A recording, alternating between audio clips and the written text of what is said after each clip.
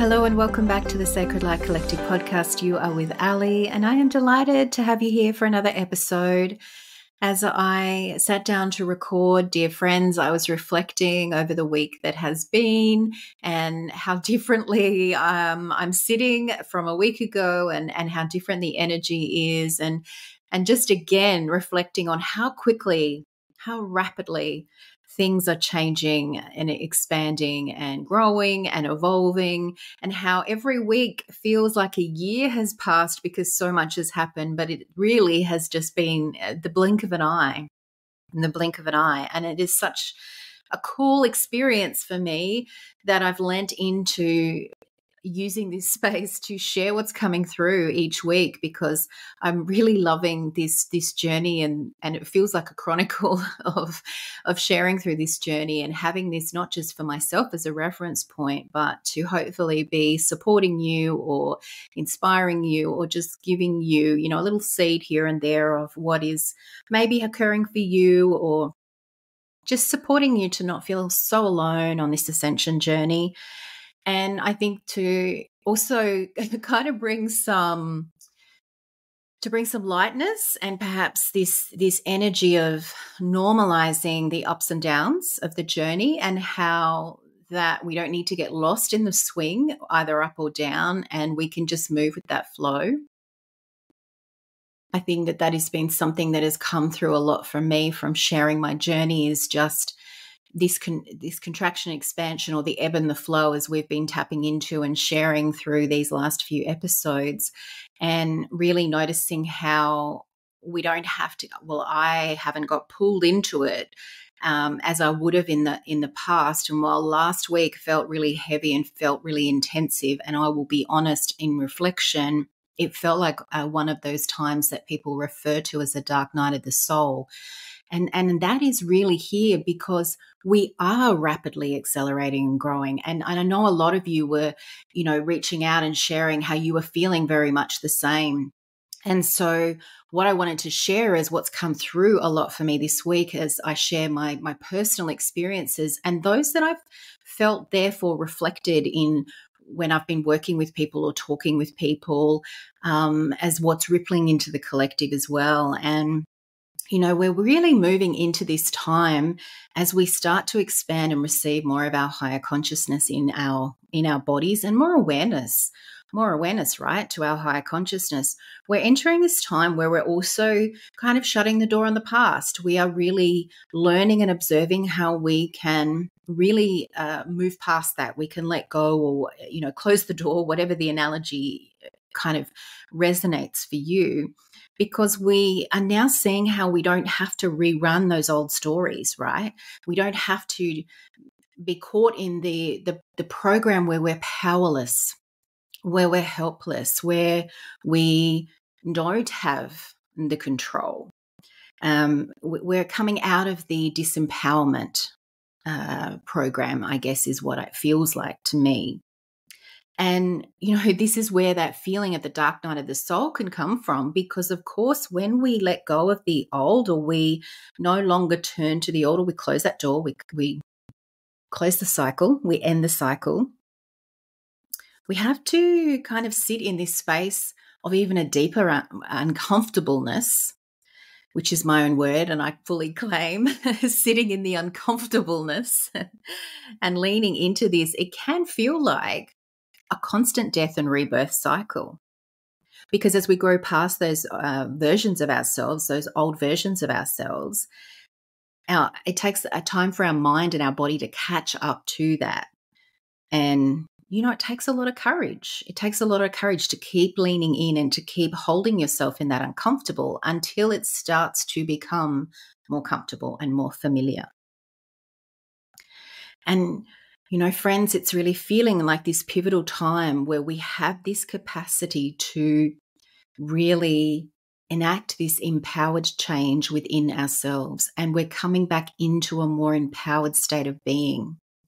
And I'm feeling that for myself, but I'm also witnessing that, you know, in, in people I'm speaking to, whether they are doing what they would consider the spiritual inner work or, or the inner work to self, or whether they are just discovering new new ways of approaching their triggers or new ways of seeing themselves and perspectives within themselves. People are waking up and not yet even knowing that they're waking up. And that is because we are all doing this work. And I, I, saying that it doesn't sit right feeling like work because that makes that gives it this heavy sense. But i think there's a joyfulness to a lightness that we can bring to this quote unquote work as we begin to transform.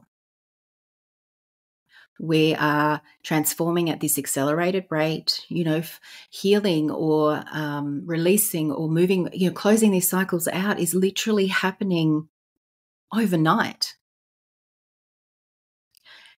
as we're ascending into this higher consciousness within our physical form and we're stepping into our personal power, we're able to transcend our own perceived limitations. And because we are all stepping into this, it is that ripple effect that we are all modeling aren't we? We are we are role models. We are eh, points of inspiration. We are beacons of light and of love for others to start to become more aware of this consciously. You know we're not the i'm not the same person i was last week. And i'm sure you're not the same person you were last week. Goodness i actually am not sure i'm the same person i was 2 days ago at the moment we're all leveling up and we're all really coming into our own expanded awareness. We're coming into our power as a sovereign being. And some of the other aspects that I've noticed coming through this week is a lot of energy shifting, a lot of chakra recalibration. In fact, really, our field and our frequencies recalibrating to this as well. So that is coming through and presenting in somewhat of a physical way. And you may or may not be experiencing this, but I just mention it because in a, in conversations with people and sessions with people, I have noticed um, some similarities there, some things that are coming through physically, and that people are getting hung up on what it is or looking to find an external reason for why that is. And I really feel, I really feel that this is part of this recalibration because our bodies, our bodies are also ascending. Our bodies, uh, the frequency within our bodies is also changing because as we embody more of our higher consciousness, our higher self, we are becoming more of the crystalline nature that we are. So there's a lot, particularly through the lower chakras, I'm feeling. And I have been noticing a lot in my root chakra, the base chakra. And a lot of that I've been receiving for myself. And I've had kind of this some interesting feedback, particularly through one session.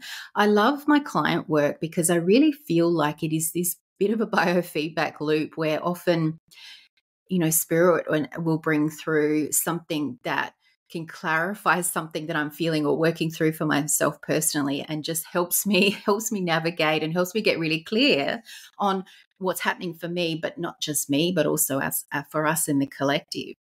But really noticing a lot of this root chakra uh, base chakra work because we are transcending our limitations because we are closing off old programs and and old ways of being in uh, the survival element, so the way that we were always operating from this place of fear, of being unsafe, and clearing now to really access the earth, Gaia, in a new way. So, anchoring more into that truth and safety within our body, within our own inner chakra system, but also in relation to the earth and to Gaia. And this is really coming through as quite a crystalline energy, a frequency. And I am seeing a lot more of our chakra energy and the energy in the body taking on more of a crystalline structure. And it's kind of odd because it's, I say that, and when you think of a crystal, you think of something hard, but the, when it, the way it comes through, it's very malleable. It's almost like you can touch it and it rebounds back, a bit like slime, I guess. Um, but it has these properties uh, of a, a crystalline nature. So, as we're unplugging from these old grids, you know, these old programs, these old cycles, we are recalibrating to this new crystalline frequency. So rather than being anchored to the past, it's allowing us to be really anchored to the present. And I'm sure more will come through for me on that because that has really only dropped in in the last day or two before I record this episode. And I know that there's more to come there because I am receiving a lot of synchronicities around observing more crystals in our physical reality. And so there's a deeper connection there, I know, to our crystalline structure and our frequency within that but it feels like we are receiving a lot of upgrades, new templates, particularly related to the root chakra, the base chakra energies. And you may feel somewhat up and down around that because it may kind of push a little button. You may be triggered a little bit around your sense of safety, your physical, your material needs, your groundedness, your connectedness to to body, to self, to to survival. And that is why I wanted to share that here so that if you observe that, or if you're someone that is um, attuned to the energy and can feel your chakra energy uh, shifting and, and, and tingling and pulsing, to breathe into it and to breathe into it in a way that you are releasing it down into the earth. So, releasing and letting go down to the earth, allowing allowing anything that is now not in the calibration of where you are to be to be released but also simultaneously supporting this new anchoring to the earth in this higher frequency and I've also been experiencing and feeling a lot of upper chakra work, in particular for me, the high heart. The high heart chakra has been coming in and out for the last few months now. But I'm really understanding that more as a connection to our crystalline body, our crystalline temp- template within. And it's interesting because for me, it almost feels like there is a, a, crystal or a, pe- a, pendant, if you would imagine, that is in the space which is between the heart chakra and the throat that that sits there, and it almost uh, feels like it it's the activation point. So now when I'm coming into heart work, I, instead of coming into that the traditional space of the heart chakra, that center of the chest, I feel myself coming more through the heart chakra, uh, sorry, the high heart chakra. And what I have started to tap into there is this frequency of peace and bliss in a, a way that I don't know that I've ever consciously been aware of before. So I understand now how this opens us to a higher capacity to love, to unconditional love within us, and this blissful, peaceful state that we are moving to in this higher consciousness embodiment, new earth frequency, one where we are embodied beings, sovereign beings, full of love and compassion and grace for ourselves and for our fellow our fellow humans, our fellow uh, sovereign beings, our, our the humanity, our collective. And also feeling a lot of crown chakra work too. So, again, somewhat bringing in these new frequencies, calibrating the integration so, just inviting you if you're noticing any pressure around your head or tingling or headaches, to take some breaths and just allow your crown to open. Visualize a flower and allowing that to, to open and to receive and to allow this to move straight through you. there seems to be some significance with uh, the crown, the root, the base chakra, and the high heart for me over this last week. And so I just wanted to share that as well in case that's something that you are noticing or you may notice over the coming week. So there's been some physical kind of anxiety at times, um, feeling maybe a little agitated or frustrated or just feeling slightly out of sorts. And i'm not the only one that has has felt that way and it like comes and goes. It's really interesting and i i have to be honest i've not really paid it a lot of attention i've just observed it because it feels like it's been part of this process of allowing the uncomfortable of the new to become comfortable an analogy that i use quite often when i'm talking uh, with the beautiful women that i work with is that that it's like you've bought yourself a new pair of shoes. They're a little bit tight, they're a little bit uncomfortable. You need to wear them in a little bit. You might put some socks in to stretch them out. But then one one one day you put them on and they just feel really comfortable and you are just striding ahead without any thought about your feet at all. And that's what this feels like to me. It's those moments where the shoe's rubbing a little bit on the foot or your toes are feeling a little tight in the front of the shoe uh, or your feet are aching after a, a, long day of standing in a pair of high heels. It is that kind of feeling, but then it passes and then it, you, you feel comfortable. And so it hasn't, it's felt almost seamless in a way, like one day to the next, it's rolled very beautifully. And I think that if you can allow yourself to almost surf the energies, isn't it? It's like surfing the wave, uh, allowing the ebb and the flow, remembering our contraction and expansion that we have been talking a lot about, and observing how there can be lots of mini contraction and expansions, or it might be a contraction that lasts for a week, an expansion that lasts for two weeks, but just allowing yourself to move in the flow. That feels really important. We've also feeling into the coming week, moving into the energy from the 9 9 gateway, the 9 9 portal of the 9th of September. And for me, what I'm feeling coming through that is this deeper connection to the crystalline templates within us, receiving more of the crystalline light codes, opening to our higher ascension. And when we think about the number nine and what we know about the number nine, that is a lot of closing off, that is the ending of cycles.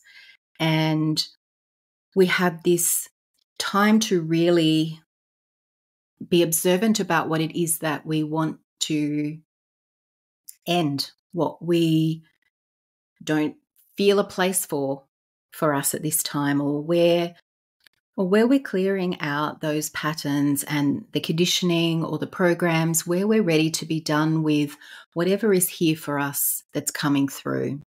And you know, we've been talking about that over the last few episodes about what what's been coming up for me and giving you an opportunity to feel into what might be coming through for you. And I can definitely feel there is a, a couple of consistent themes for myself coming through and really allowing myself to to reset and I guess it one one personal element to share around that, as I touched on in the last episode, is really understanding that I was chasing a dream and a goal that I had felt resonance with four or five years ago, and how I realized in the here and now, apart from I was a thousand times a different person than I was then, that also didn't necessarily feel aligned for me now.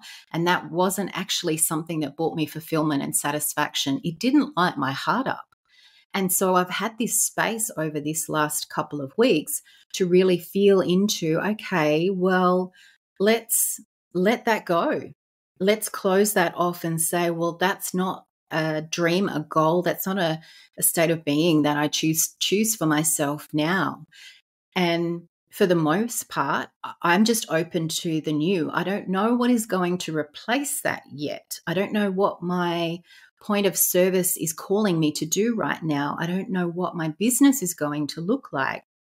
But I know that it's not what I thought it was that I had been working towards and hammering myself towards and not not feeling the full alignment to it. And so there's the beautiful freedom of being able to let that go and to have space for the new to come through.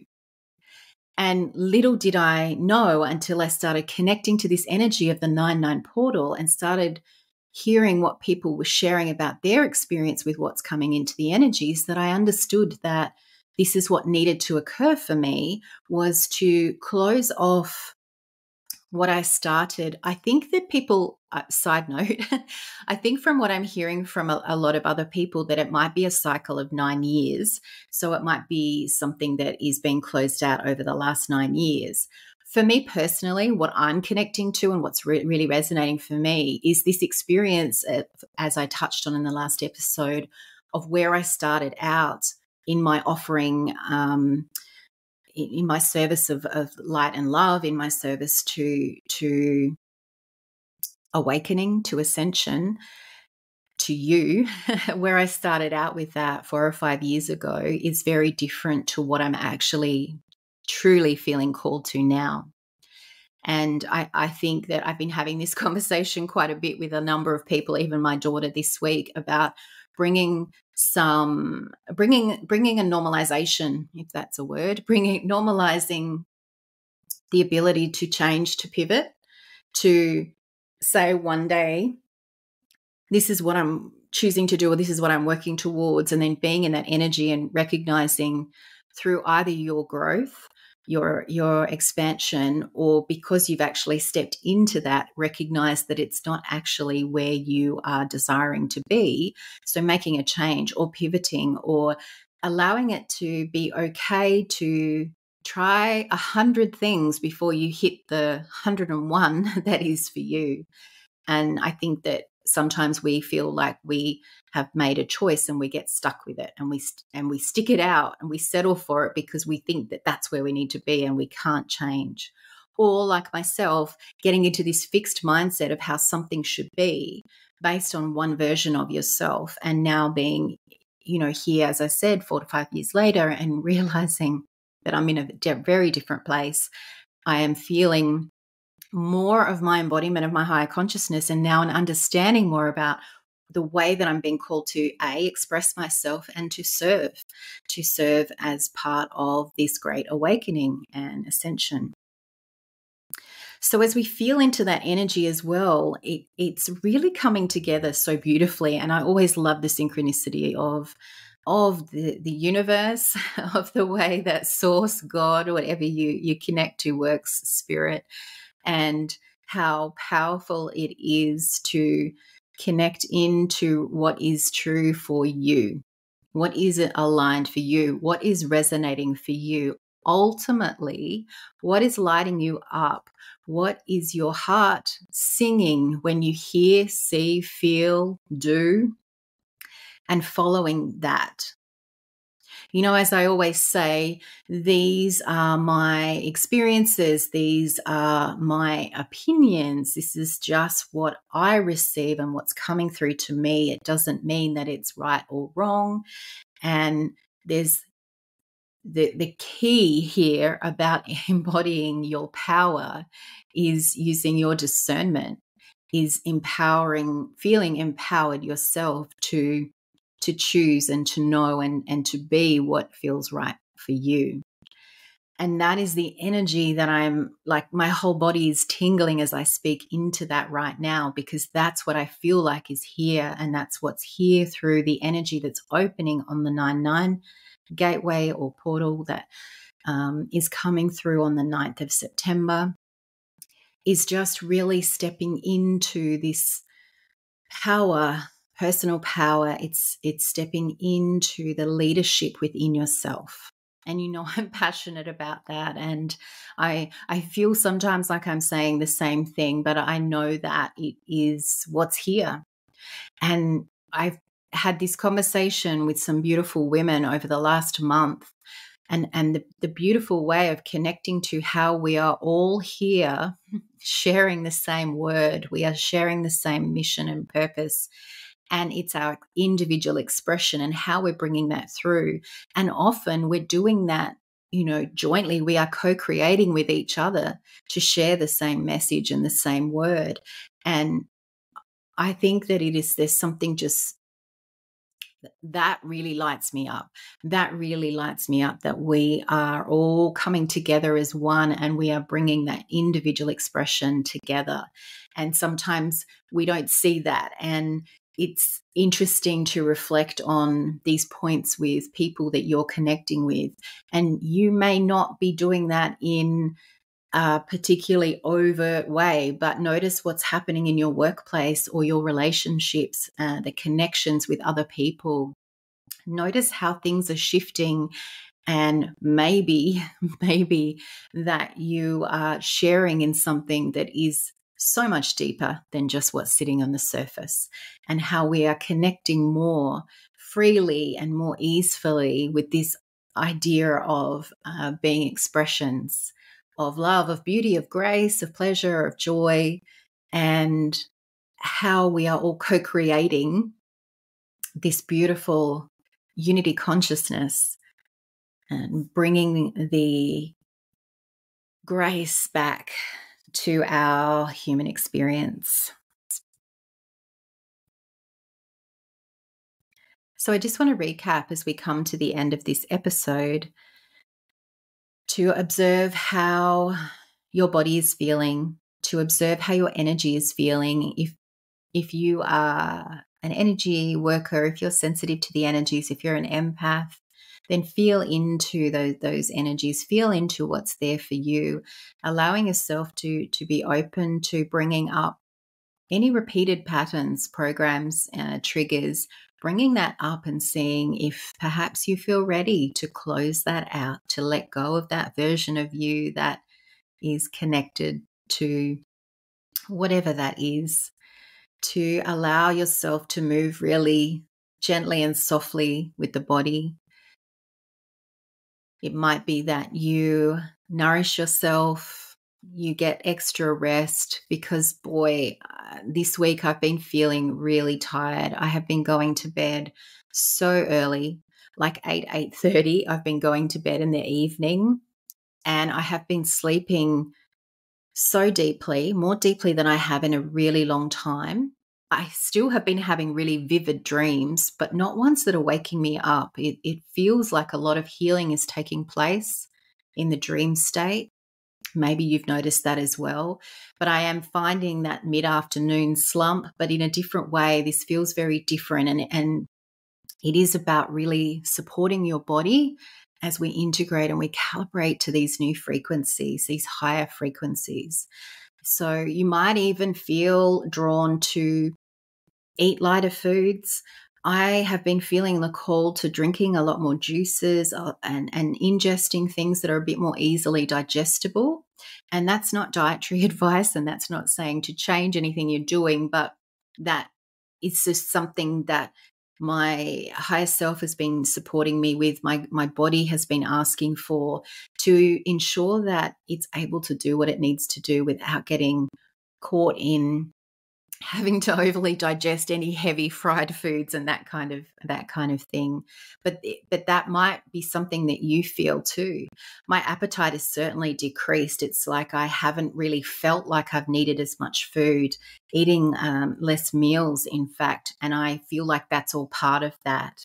And i i really you know, I don't subscribe to eating a particular diet or being vegetarian or whatever it is because it's so individual.